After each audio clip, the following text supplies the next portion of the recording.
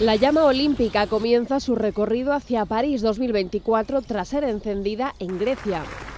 Las ruinas de la antigua Olimpia acogieron este martes la ceremonia tradicional en la que la actriz griega Marimina, en su papel de gran sacerdotisa de Olimpia, encendió la antorcha olímpica dirigiéndose a Apolo, rodeada de otras sacerdotisas y vírgenes vestales.